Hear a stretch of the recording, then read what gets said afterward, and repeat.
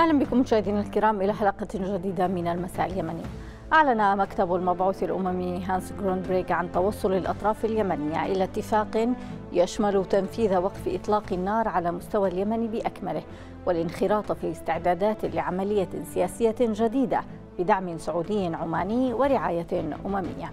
التدابير إضافة إلى إجراءات تحسين الظروف المعيشية تتضمن دفع رواتب القطاع العام واستئناف صادرات النفط إلى جانب فتح الطرق في مناطق متعددة من اليمن أهمها مدينة تعز بحسب مصادر متعددة فإن خارطة الطريق للحل المعلن باتت جاهزة بشكل نهائي غير أن تصعيد الميليشيا لعملياتها في البحر الأحمر حال دون إتمامها. فالحان وقت السلام في اليمن بعد تسع سنوات عجاف أم أن ما يحدث هو جولة أخرى من التلاعب بمصير البلاد خصوصا أن الحديث لا يزال على مستوى التصريحات ولم يترجم إلى مواقف أو اتفاقيات. دعونا نذهب لمشاهدة هذا التقرير ثم نعود بعده للنقاش. خارطة سلام بدعم سعودي وعماني ورعاية أممية. هذا أبرز ما تضمنه بيان صادر عن مكتب المبعوث الأممي هانس كرونبرغ دون توقيع أو مضامين سلام أعلن المبعوث الأممي عن وقف إطلاق نار على مستوى البلاد واتفاق الأطراف اليمنية على مجموعة من التدابير المهمة لتعزيز عملية السلام في اليمن. وفقا للبيان فقد تم التوصل إلى اتفاق يشمل تنفيذ وقف إطلاق النار على مستوى اليمن بأكمله والانخراط في استعدادات لعملية سياسية جديدة برعاية الأمم المتحدة. التدابير تتضمن دفع رواتب القطاع العام واستئناف صادرات النفط وفتح الطرق بما في ذلك طريق تعز وتخفيف القيود المفروضة على مطار صنعاء وميناء الحديدة. وزارة خارجية الحكومة الشرعية رحبت بالبيان الصادر عن المبعوث بشأن الجهود المبذولة للتوصل إلى خارطة طريق برعاية الأمم المتحدة لإنهاء الحرب. بينما وصفته قيادات حوثية بالمهين جدا والمخالف لما تم الاتفاق عليه وأنه يغض الطرف عن حقوق أربعين مليون نسمة وتعويضهم وإعمار اليمن كما ويحول طرف الحرب إلى وسيط. يقال سلام سيء خير من حرب جيدة غير أن السلام في اليمن لا يشبهه شيء إذ يرغب اليمنيون بسلام يمكنهم من تجاوز محنتهم وإنهاء الأزمة الإنسانية الخانقة. لكن وفي ظل هذه الظروف يظهر أن مسألة السلام في اليمن مجرد ترحيل للأزمة دون حل جذري إذ تشهد السلطة الشرعية انقسامات حادة عوضا عن كونها شرعية بلا أرض ولا سلطة ولا جيش ولا موارد. وتعجز عن توفير الخدمات الأساسية للمواطنين. كل هذا مقابل ميليشيا تمتلك ترسانة ضخمة من الأسلحة والموارد. سلام يمنح الميليشيات سلطة وشرعية لتكوين هياكل إدارية بديلة وتحديد مسار البلاد بما يتناسب مع مصالحها الخاصة. بل ويجعل اليمن بلدا مستباحا للميليشيا التي قد تتحول إلى سلطة معترف بها. ومعها يزداد تأثير الدور الإقليمي وتدخله في الشأن اليمني مما يحصر البلد في مشكلاته ويجعله أبعد ما يكون عن السلام. أهلا بكم مشاهدينا الكرام وأرحب بضيوفي الذين سيكونوا معنا خلال هذه الحلقة. الدكتور علي أذهب الخبير العسكري والاستراتيجي والذي سيكون معنا عبر سكايب. مساء الخير دكتور علي. مساء النور. أهلا بك. وأرحب بالأستاذة بلقيس اللهبي الباحثة في مركز صنعاء للدراسات والتي ستكون معنا أيضا عبر سكايب. مساء الخير أستاذة بلقيس. خير. أهلا بكما جميعا. وسينضم معنا لاحقا الأستاذ مجيب شمسان الخبير في الشؤون السياسية والعسكرية عبر الهاتف. إذا دكتور علي اتفاق سلام أممي أعلن أو أعلن عنه هانس جروندبريغ ويشمل على مجموعة أو على خارطة طريق لها مجموعة من المحددات منها وقف إطلاق النار على مستوى اليمن بأكمله. ما هو تعليقك الأولي على هذا البيان؟ أه أكرر الترحيب بكم المشاهدين ضيوف الكرام. أه الحقيقة ليس توقيعا حتى اللحظة ولكن إعلان عن بين الأطراف تسمي هذه الأطراف كان الإشارة إلى طرفي الصراع ورعاة الدين لهذه أه بما في ذلك أيضا الدولة التي تضغط في هذه الاتجاه. آه، المعذرة منك دكتور الصوت بيقطع مش قادرة أسمعك بشكل جيد. اسمح لنا سنعود التواصل بك لتوضيح الصوت أكثر وأذهب في هذه الأثناء إلى آه، الأستاذة بلقيس. أستاذة بلقيس إذا الأطراف المتحربة تتفق على وقف إطلاق النار والبدء بعملية سلام جديدة برعاية الأمم المتحدة بحسب جروندبريك كيف تقرأين الأمر؟ الأمر ليس ليس جديد لكن نعم. لم لم نكن نتوقع أن يتم في هذه الفترة تحديدا بالذات بعد التطورات على المنطقة بشكل عام والحرب في غزة أو على غزة بالأصح لكن بالنهاية نحن نمر الآن تقريبا سنتين من الهدنة التي تستهدف تحديدا المعارك على الحد الشمالي لليمن الجنوبي للسعودية. وأيضا أنه وقف انتطال النيران آه، أماكن كثيرة في آه، بما يخص التحالف. لكن بالنسبة للجبهات اليمنية هي جبهات ظلت صحيح إنها غير مشتعلة بشكل كبير ولكنها مشتعلة. نعم وظلت الطرق مقطعة وظلت ال... يعني لم تكن هناك هدنة لليمنيين. صحيح. بمعنى أيوه صحيح إن المناطق اللي كانت تعاني من ال... ال... الضربات الجوية ارتاحت كثيرا وعادوا إليها النازحين بشكل كامل لكن مسألة الرواتب هي حرب أخرى. ومسألة التقويض حرية المواطنين في الحركة وغيرها من من هذه الأشياء. من الجيد ان أن يكون هناك سلام ومن الجيد أن أن تقف الحرب وأن يخرج التحالف من هذه الحرب. لكن ليس هذا هو بداية سلام حقيقي وعادل لليمن. بالتأكيد إذا كانت الأمور غامضة حتى اللحظة وما زال وما زالت ما بين قوسين الحكومة المعترف بها دوليا آه، غير آه، منخرطة في الأمر. نعم، إذا أستاذة بلقيس يعني هل يوجد معنى للسلام آه، في اليمن في ظل احتكار الميليشيات للسلاح هنا وهناك؟ يعني هل يمكن يعني هناك من يرى بأنها فقط مجرد تأجيل للحرب؟ هو اليمن تعاني من تأجيل مزمن للحرب وطويل. هناك حروب في اليمن متعددة ظلت مؤجلة وت... و... و... و... يعني تقوم ما بين فينة وأخرى. لكن لا نستطيع أن نقول إنه غير جيد لليمنيين مثل هذا السلام ولكنه ليس جيد على المدى البعيد. كيف؟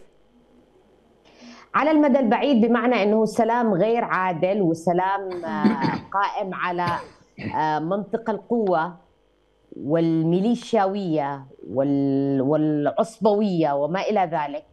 هو سلام يهدد بحرب قادمة. نعم. طيب أستاذة بلقيس هناك يعني من يرى بأن آه، آه، أن هذه الخارطة لن تفرق كثيرا عن الهدنة السابقة التي كانت قبل سنتين، لم تلتزم الميليشيا بأي بند من بنود الهدنة آه، السابقة، على العكس هي استفادت بشكل كبير، وهناك من يخشى أن يعني تعاد نفس الحكاية خاصة وأن الميليشيا لم تلتزم قط بأي اتفاقيات. الخشية قائمة وقائمة جدا، نحن نتعامل مع مع ميليشيا الحوثي من فترة طويلة أو أو ما يسمون نفسهم أنصار الله، لكن آه، لا توجد بالنسبة لليمنيين لليمنيين تحديدا حلول أكثر جودة. آه، بالنهاية على الأقل في هذه في في هذه الجولة هناك وعد باستلام الرواتب. وهذا الأمر سيحرك على الأقل الاقتصاد الخامل وسينقذ اليمنيين على الأقل لمدة ستة أشهر لأن لا طيب ما هو كان في برضه في, في الهدنة وعود بصرف الرواتب من خلال لا كانت كانت وعود غير مثبتة داخل داخل إطار موقع عليه أو متفق عليه. الآن هناك من سيدفع. كذا بالنهاية هناك من سيدفع. من سيدفع لكن كم سيستمر ذلك؟ أنا لا أعتقد إنه يمتد لأكثر من ستة أشهر إلى سنة وتعود الأمور إلى ما كانت عليه. ليس في الحرب ولكن على الأقل فيما فيما يخص الرواتب وحركة الاقتصاد اليمني. نعم آه وغير جا... إن إحنا آه لاحظي شيء إن إحنا بنتكلم عن اقتصاد يمني وفتح آه يعني موانئ الحديدة وإحنا عارفين إن الآن إن باب المندب بالكامل باب المندب بالكامل لا لنا ولا لغيرنا.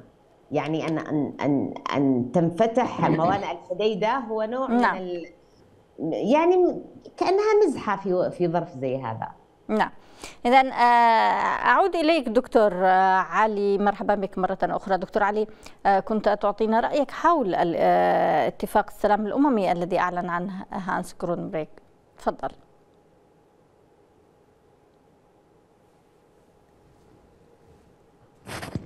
الصوت. نعم صوت واضح. تسمعني؟ أسمعك جيدا. ونحن نسمع كذلك. تفضل. طيب على العموم بالنسبة لهذه المسألة هو المبعوث الأممي أو مكتب المبعوث الأممي أشار إلى أن هنالك توافقا حول آه، اتفاق لوقف آه، إطلاق النار وتنفيذ آه، بعض التدابير الإنسانية التي تعزز بناء الثقة بين مختلف الأطراف. هذه كنقطة ثانية.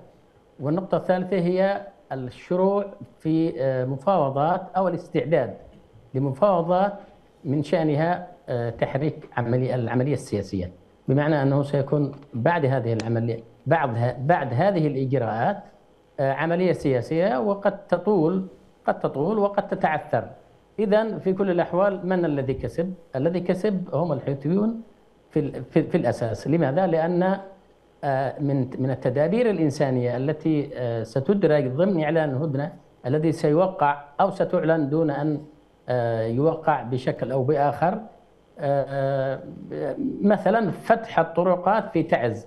هذه نعم. الفقرة كانت ضمن الهدنة ولكن لم, لم تكن لم تؤكد لا لم تؤكد لأنها أشارت اليها بشكل منفرد وقالت أنه آه، بمجرد دخول الهدنة حيز النفاذ يجري التفاوض بشأن فتح الطرقات في تعز ولم يقل تفتح الطرقات. ولذلك تعثرت وظلت إلى الآن، الآن الحوثيون إذا أرادوا إذا أرادوا أن آه، آه، يعطوا هذه هذا الحكم حقه وينفذونه آه، فإنهم قد أخذوا مقابل ذلك يعني سابقا وسيأخذوه لاحقا من خلال الهدنة السابقة والهدنة أو وقت إطلاق النار الحالي بمعنى أنه سيكون هناك فتح جزئي أيضا للمطارات وللموانئ وفي نفس الوقت هم آه، آه، يعني النفط بحيث اوقفوا صادرة النفط وفي الوقت الراهن آه، أضيف إلى يعني إلى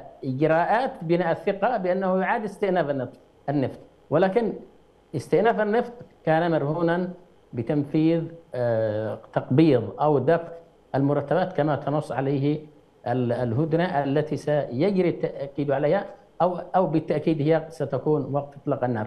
اذا الحوثيون ناوروا مناوره آه، يعني ذكية واستطاعوا وفقا لظروف مختلفة أن يفرضوا على الحكومة وعلى الأطراف الأخرى آه، اشتراطاتهم من حيث دفع الرواتب أو الاستمرار في فتح الموانئ والمطارات فضلا عن تمنعهم في آه، فتح الطرقات في تعز وستفتح أو قد لا تفتح طرقات موجب اتفاق الهدنة الذي سيأتي أو اتفاق وقف إطلاق النار الذي سيحل قريبا فضلا عن فتح طرقات أخرى في محافظه في محافظة أخرى من محافظة الجمهورية. ثم الدخول في عملية سياسية. نعم. الدخول في لكن عملية ما سياسية ما هي ما هي ضمانات دكتور علي ما هي الضمانات أو الجدوى من خارطة الطريق؟ لا نعرف هل سيلتزم بها الحوثي أم لا. كل الاتفاقات تقريبا لم يلتزم آه، بها آه، الحوثي. فما الجديد في هذه الخارطة؟ هذه هي إشكالية هذه هي إشكالية لأنه لا يوجد يعني الهدنة يعني ليست لها أنياب بمعنى أو ليست لها مخالب. ليست لديها, لديها عقوبات يعني تتضمن نصوصا تعاقب الأطراف على آه، تخليهم أو تجاوزهم لأحكامها. ولذلك آه، هناك قد تكون هناك رقابة شعبية أو رقابة أممية أو رقابة على مستوى الأطراف أو على مستوى الوسطاء وهذه الرقابة إن لم تعزز كما قلنا بمخالب أو أنياب فإنها, فإنها لن تكون مجدية. ربما طرحت مثل هذه القضايا في مشاورات عقدت هنا في القاهرة بين 20 إلى 22 برعاية المكتب الأممي وأثيرت مثل هذه التدابير التي تلزم مختلف الأطراف إلى الوفاء بأحكامها. واقترحت بعض التدابير ولكن كما يبدو أن العوامل الاستراتيجية الأكبر التي تحيط بالإقليم ومنها المناطق المشتعلة بالصراع ومصالح الدول الكبرى هي التي وضعت الحكومة اليمنية في المكان الأضعف وهي التي يعني تدفع الثمن من حين إلى آخر وتستنزف من نقاط قوتها مقابل تعزيز موقف الحوثيين. نعم. اذا بالعودة إليك أستاذة بلقيس، أستاذة بلقيس يعني هناك من يرى بأن هذا البيان بيان مهم جدا اليمنيين مخالف لما آه، يفترض أن يكون عليه من إعادة إعمار للبلاد آه، من آه، يعني تعويض للسنوات التي مرت. الآن سيتحدثون عن رواتب شهرية. ماذا عن الرواتب السابقة؟ من سيدفعها؟ من سيعيد لليمنيين ما فقدوه خلال سنوات الحرب؟ للأسف هذا هذا الاتفاق هو لا يخص اليمنيين. الاتفاق هذا تحديدا هو يخص خروج السعودية والتحالف من حرب اليمن حتى مش التحالف كله. يعني إحنا بنتكلم الآن عن إلى حد ما إن نحن مش عارفين ما هو موقف الإمارات نعم. من هذا من هذا الاتفاق. الاتفاق مهين لليمنيين لكن اليمنيين هم تحت البند السابع الوصايه الدولية وهم وضعوا نفسهم تحت وصايه دول أخرى. يعني اليمنيين كيمنيين بشكل عام أهانتهم الحرب بما يكفي. السلام القادم ليس مهين بقدر ما قد أهانت الحرب أصلا بالأساس. آه، إحنا نقول إنه سلام شائك آه، سلام غير مستقر لأنه سلام يقوم فقط على إخراج السعودية من المأزق التي فيه حرب اليمن. لكن نعم. هل هو سلام بين اليمنيين؟ هل سيؤدي إلى فعلا حالة من الاستقرار بين اليمنيين؟ هذا الشيء غير واضح من البيان المطروح. ستحاول الأمم المتحدة تجويده قدر الإمكان وتحسينه بحيث إنه يصبح أكثر آه، جمالا ولكنه بالنهاية آه، لم يكن يفرق عن الهدنة من طرف واحد التي أعلنت قبل سنتين والتي لم يكن لها ملامح. بالنهاية هذا هذا هو الوضع ونستطيع أن نقول إن الحكومة اليمنية التي نتأسى عليها الآن ونقول إن مثل هذه الأشياء تقوض من من وجودها هي قوضت وجودها أصلا. هي قوضت وجودها. الحكومة اليمنية أو المعترف بها دوليا هي أصبحت أضعف من أن تدخل مع الحوثيين في آه، مفاوضات سياسية. أي في مفاوضات سياسية. والآن تركت وحيدة تماما. تخلي السعودي عنها تخلي واضح. لكن بالمقابل نجد إنه قيادي مثل محمد البخيتي قبل أيام يهدد السعودية والإمارات بحسب موقفكم من, من التحالف التي نعم. ستجريه أمريكا. في في ذلك الوقت نستطيع أن نقول إنها ستسلم أراضيكم و آه، يعني مصالحكم النفطية من نيراننا. وهذا كله يضعك أمام تساؤلات كبيرة جدا ما الذي دفع المملكة العربية السعودية إلى استكمال مثل هذا الاتفاق بمثل هذه الشروط. نعم. اذا آه، دكتور آه، علي يعني آه، تحدثت الأستاذة بلقيس أن الحكومة اليمنية أصبحت التي يعترف بها شرعيا أصبحت أضعف من أن تواجه أو تقعد في طاولة مفاوضات مع الحوثي. صف لنا مدى حجم هذا الضعف الذي تعيشه الحكومة الشرعية يعني حتى أن البعض يشبهها بدمية تتداولها المفاوضات بين الميليشيا الحوثية والتحالف. آه، في الحقيقة أنا لا أملك تفسيرا لما قالته الزميلة ولكن هي تجيب أعتقد عن ذلك. أنا أتصور أن هناك قيود وهناك إدارة فن الممكن وهي فعلا واقعة في نقاط في موقع ضعف لكنها تستطيع أن تناور بما لديها من قوة على الأرض ويستطيع الموجودون على هرم السلطة وأعني بها ذلك أعضاء مجلس القيادة الرئاسي آه، اتخاذ مواقف حتى مواقف احاديه ولذلك لمسنا بعض المواقف الإحادية التي تدعو إلى آه، إنقاذ مؤتمر وطني إزاء ما يجري داخل البلد وما يجري من تهديدات آه، في البحر الأحمر تمس السيادة اليمنية وأمن الإقليم والأمن الإقليمي اليمني. وأيضا ما يتعلق بعملية السلام هذه التي لا تزال آه، يلف بها الكثير من الغبش. فالواقع الآن يقول أن الحكومة لديها قيود عليها قيود ولديها التزامات دولية وهي تعي أن أنها لا تستطيع أن ترفض في ظل ما تعاني من هذه القيود. هي في كل الأحوال تناور في حدود الإمكان. ولو تمكن هؤلاء الثمانية الذين يقفون على رأس هرم السلطة آه، من تفادي الأخطاء الموجودة وتجاوز خلافاتهم لكان موقفهم أحسن آه، من أي وقت مضى. وهم في حقيقة الأمر يملكون الأدوات الصلبة التي يستطيعون بها فرض إرادتهم أمام الحوثي. في كل الأحوال آه، يعني أنا أعتقد أنه الهدنة التي مرت حققت لليمني الكثير ولا أذهب إلى حيث ما ذهبت زميلة عندما قالت أنها لم تعني اليمن لا بالعكس. تنفس اليمنيون السعداء عندما وجدوا أن هنالك خفضا للتصعيد من حيث التحالف لم يشن هجمته على الإطلاق نعم هي ذكرت ذلك يعني. هي ذكرت أن أن حتى عاد كثير من النازحين إلى هذه المناطق. سترد سترد هي. ولكن أنا أقول لك أيضا أن الموانئ فتحت ودخلت السلع تحركت المطارات أمن الناس من حيث انه لا يدفع أبنائهم إلى المعارك أو إلى الكثير من ال يعني ال لم تكن معارك بل كانت مجازر تودي بالمئات بل والآلاف على على مدار العام. ولذلك فيها كثير من الفائدة. رب ضارة نافعة. لن نستمر في هذه الحرب ولن نخرج منها في نفس الوقت لكن إيقافها التدريجي سيقودنا إلى عمليه السلام آه، بإذن الله سبحانه وتعالى. علينا أن نتفائل كثير أنا متفائل ولكن أرى أن ثمه طرف سيدفع ثمن ذلك. من من هذا الطرف برأيك؟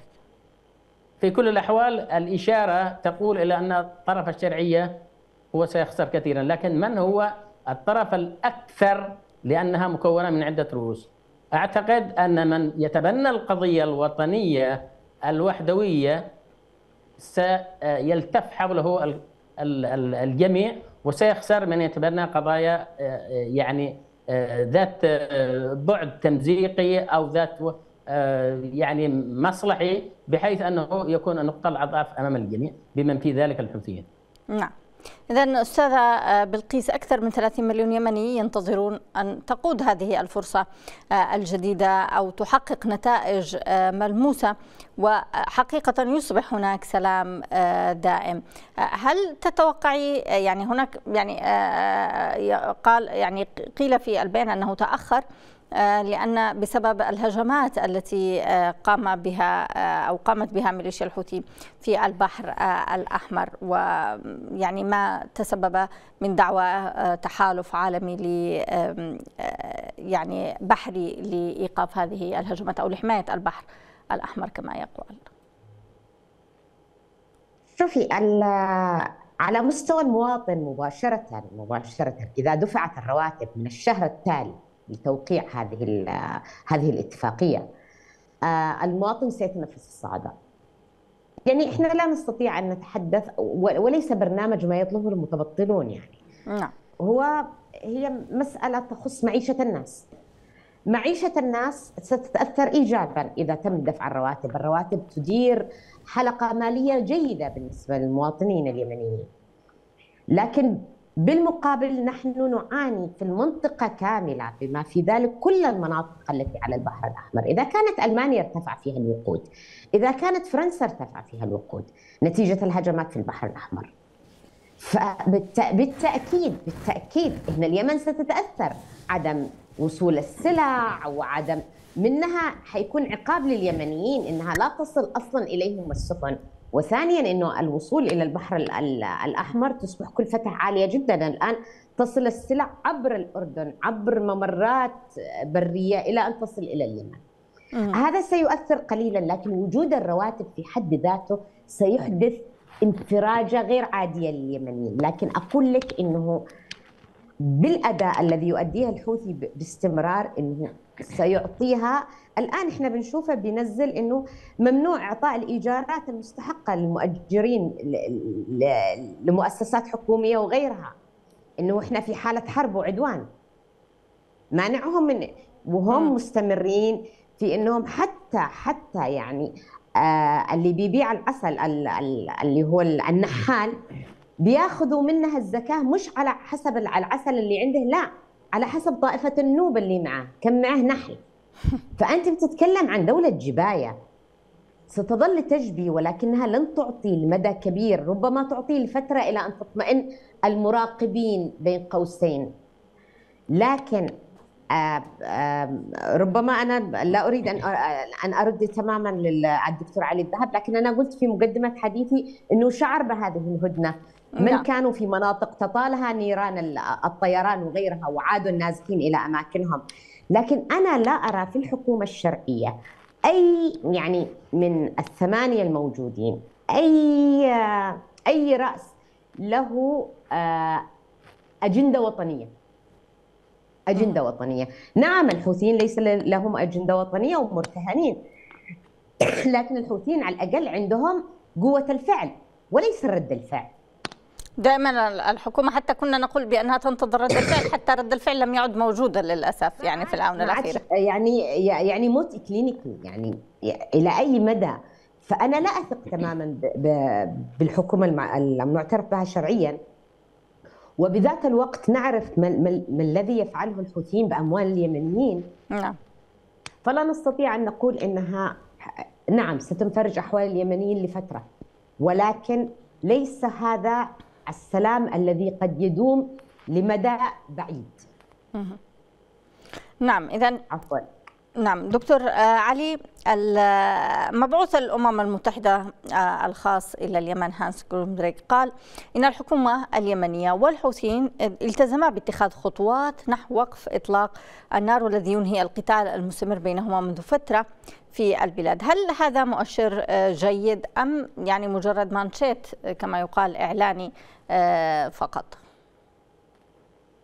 آه، إذا كان يتحدث عن عملية إطلاق النار بصيغتها التي آه، يعني ما فوق الهدنة آه، فأنا أتصور أنها لن تحصل. هي ستكون مثلها سيكون وضعها وضع الهدنة. وهي كشرط وهي موضوع الآن في الاتفاق المزمع ستكون في رأس أحكام الاتفاق بمعنى أنه سيكون أولا وقف إطلاق النار. ثم يأتي ثانيا دفع المرتبات ويكون ذلك بعد استئناف النفط لأنه النفط الآن عندما حتى الآن الحكومة تحاول رفع أسعار الوقود أو النفط في مأرب وهذا كله من أجل مواجهة أعباء الرواتب التي اشترطها الحوثيون آه، آه، يعني على الحكومة. وذلك أنا أتصور أنه سيدفع سكان المناطق الخاضعة للحكومة الشرعية بموجب الزيادة التي ستفرض عليهم الرواتب التي طالبها الحوثيون في خلال هذه المبادرة. إذا مس... هذه هذه نقطة أخرى. ولكن دعني أقول لك أن مسألة وقف إطلاق النار هي شرط أساسي. بمعنى وقف إطلاق النار ليس بمفهوم أنه سيكون هناك مراقبين دوليين. إلا إذا كان هذا التوصيف هو في بأن يكون بحذافيره فمعنى أن أن البلد سيشهد يعني استتباب دائم وستدخل البلد مرحلة سياسية بناء على المحور الأخير من الهدنة والذي ينص أو كما فهمت بأنه ينص على الاستعداد للدخول لعملية سلام. وهذا يعني أن هنالك عملية سياسية ستجمع بين الأطراف السياسية المختلفة وسيجري مراقبة عملية صرف المرتبات وهي وهي على فكرة مسألة طويلة ومعقدة. إذا كنا في ظرف الدولة اليمنية الموحدة المستقرة كانت اللجان تذهب لتستمر إلى 20 يوما إلى 30 يوما لتصرف مرتبات ثم تستكمل إجراءات ما بعد هذه العملية لمدة 15 يوم وقبلها يجري الترتيب لذلك لمدة 20 يوم يعني في حدود شهرين أو شهرين ونصف أو ثلاثة أشهر. فكيف بوضع الحرب؟ الآن الحوثي سرح أو صفر مرتبات أكثر من ستين ألف ضابط وجندي وحالهم إلى آه، يعني منهم من صفرهم يعني بشكل من من الدائرة المالية الصفر بحيث راتبه يكون صفر ومنهم من آه، يعني أقصاهم حالهم للتقاعد دون مرتبات ومنهم من أحالهم إلى البريد ومنهم من اعتبرهم فرارا إذا كيف ستصرف هذه المرتبات لمن؟ هل للميليشيات التي أحلها محل هؤلاء؟ والغريب في الأمر أن الحكومة تطالب بكشوفة 2014 إذا تعالوا هاتوا كشوفات 2014 أو ما قبل سبتمبر 2014 ثم تنشأ هناك مشكلة جديدة. سيقول الحوثيون لن نصرف لهؤلاء إلا إذا صرفت لهؤلاء. يعني بموازاة 300 ألف 380 ألف جندي يعني أو ضابط أو 400 ألف جندي وضابط نحن محتاجون أيضا إلى نصف ذلك أو الثلثين من ذلك لدى ميليشيات الحوثي اللي تصرف كمرتبات. في كل الأحوال المسألة معقدة ويبدو أن الحوثي سيستفيد كثيرا من مسائل يعني هو هو دائما المستفيد الأكبر دكتور علي الذهب. كيف كيف يستطيع أن يفرض شروطه بهذا الشكل؟ كيف يستطيع أن يكون هو الحائز على العديد من الميزات والمستفيد الأول والأخير. يعني مدى استفادته من فتح الموانئ هو من يعني جنى الربح الكبير في هذا الجانب. أيضا فرضه للجمارك والضرائب على التجار. حتى على مستوى فتح مطار صنعاء لم يقبل أن تأخذ شركة اليمنية مستحقاتها من البنوك والكثير من الأموال التي دخلت جيبه وهو مرتاح بعيدا عن أي مواجهات عسكرية؟ هو استفاد كثير من مجموعة عوامل وليس عامل واحد. أولا صياغة الهدنة أو صياغة أحكام الاتفاقات بما في ذلك اتفاق ستوكهولم. هناك ثغرات في هذه الاتفاقيات أو الاتفاقات أو الهدن. واستطاع أن يتجاوز ذلك بالرجوع إلى هذه ال ال ال الاختلافات الموجودة فيها أو تفسيراتها. ولذلك لم يستطع تستطيع الحكومة أن تستفيد من بند واحد في اتفاق ستوكهولم وفي نفس الوقت الهدنة لم لم تستفد منه شيء. استفادت فقط المملكة العربية السعودية بموجب الحكم الأول من الهدنة الذي أشار إلى وقف العمليات الجوية والبرية طبعا. ولكن البرية والجوية في الأراضي السعودية هي التي توقفت. أما داخل الداخل اليمني فلم تتوقف. أو لنقول انخفض التصعيد انخفض التصعيد ولكنها لم تتوقف الجانب الآخر وهو كما قلنا هناك متغيرات دولية والحوثي ليس وحده يدير عملية هذه العملية يدير الصراع مع إيران. وفي نفس الوقت هناك أطراف إقليمية عربية تحاول أن تدعمه نكاية بالمملكة العربية السعودية ونكاية بالحكومة ولديها مصالح داخل اليمن. ثالثا اختلاف يعني المكون السياسي الموجود في المجلس القيادي الرئاسي وفر للحوثي الفجوات التي يتسلل منها للوصول إلى إلى هذه المسألة. فضلا عن ذلك التآمر الدولي اليمن لا يراد له أن يتحد يراد أن يذهب إلى أقاليم مجزئه ممزقة واستطاع الحوثي أن يدرك ذلك مبكرا واستحوذ على جغرافيا الشمال ويحاول أن يستكملها ما بعد يعني في ظل هذه القفزات يعني قفزات السلام ولكن أنا كما قلت أنه سيواجه تحديات في ذلك والقوى الوطنية الموجودة على الأرض ما زالت على أسلحتها وستفرض يعني إرادتها على المناطق التي تستعوذ إليها حتى وإن كان هناك خذلان من طرف أو من آخر. نعم اذا بالعودة إليك أستاذة بلقيس يعني الاجتماعات بحسب المبعوث الأممي هانس جروندبريغ أتاحت الفرصة كما قال لتبادل وجهات النظر حول الأدوار والمسؤوليات المحتملة لمختلف المعنيين وذلك لضمان وقف الأعمال العدائية بشكل مستدام، ما الذي يضمن برأيك فكرة إيقاف إطلاق النار بين الأطراف اليمنية؟ دون العودة للخروقات خاصة ما كان يقوم بها ميليشيا الحوثي، الألغام التي قام بزراعتها، الجبايات التي اخذها من التجار وإلى آخره من الخروقات. والله أنا ما بخشاش إنه هو المواجهة تكون ما بين الحوثي وغيره. أنا بخشى من المواجهة ما بين الثمانية اللي في المجلس الرئاسي. لأنهم واجهونا بعد تكوين المجلس الرئاسي بفتره بسيطة، الحرب في شبوة. وأنا إلى الآن أبحث عن الجانب الوطني الذي على الأرض والذي ما زال ممسك بسلاحه وبيواجه الحوثيين، أنا لا أجد. أنا أجد انه هو الحوثيين تحالفهم مع إيران تحالف ذكي. الاستثم... إيران تستثمر فيهم بأقل الإمكانيات. يعني بأقل الإمكانيات نحن لا نتحدث إن قوة الحوثي الحوثي حصلت بعد اشتغل. قوة الحوثي حدثت 2016 وقوتها صارت. في 2015 الحوثي لم يكن يعرف كيف يطلق مضاد الطيران. 2016 كان بيطلق مسيرات. مسيرات. فبالتالي المكاسب التي يكتسبها الحوثي ليست نظرا لتآمر الأكوان على الحكومة الشرعية. لا لا. هذا نتيجة القوة الكبيرة للحوثيين هي فساد الحكومة المعترف بها دوليا وترهلها. ومعاركها التي كانت تصب في جيوب قياداتها. المعارك التي كانت دعمت السعودية دعمت كما ذهبت ال ال ال ال ال كل الدعم هذا في جيوب تجار الحروب. بما في ذلك الحكومة المعترف بها دوليا. على قدر فساد الحوثيين فيما يخص نهب اليمنيين والجباية منهم لكن لم يكن بمثابة وبمستوى فساد الحكومة المعترف بها شرعيا. هذه العدو الأساسي. لكن ما هي الضمانات؟ لا توجد أي ضمانات. الضمانة الوحيدة التي يمكن أن تكون قد أخذت هي ضمانة أن السعودي أن السعودية لا تمس بأذى. لكن ضمانات على المستوى الداخلي اليمني لا توجد ضمانات.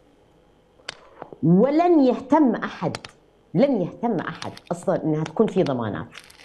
نعم. ولذلك لذلك هو آه، إقبال مبشر بخير لفترة بسيطة جدا وأهم مدخل لها هي مدخل الرواتب لأن الميناء والصادرات والواردات هذه أصبحت في خبر كان بعد تطورات حرب غزة.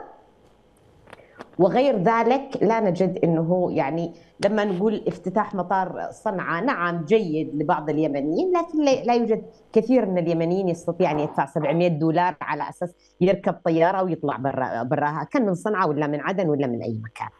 فبالتالي إلى حد ما هي الرواتب هي الانفراجه الوحيدة. إنما غير ذلك مرت الهدنة ونعلم حصلت اشتباكات داخل مارب، حصلت اشتباكات ظلت آه، آه، الألغام الأرضية وتعز تحت تحت مرمى النيران نعم. وظلت سبلها مقطعة ربما تنفرج في مسألة فتح الطرقات لكن بشكل أساسي هذه الاتفاقية هي لخروج السعودية من هذه الحرب حتى بدون تحميلها قصص إعادة الإعمار. نعم دكتور آه، علي بحسب تقارير دولية آه، تتزايد منذ مدة مساع آه، إقليمية وعالمية لإيجاد حل سياسي شامل لأزمة اليمن بالتأكيد تابعت زيارات وفدي السعودية وعمان إلى صنعاء جولات خليجية للمبعوث الأمريكي إلى اليمن تيم تيم ليندركينغ والأممي غروندبرغ برأيك كيف ساهمت سلطنة عمان للوصول إلى هذا الاتفاق؟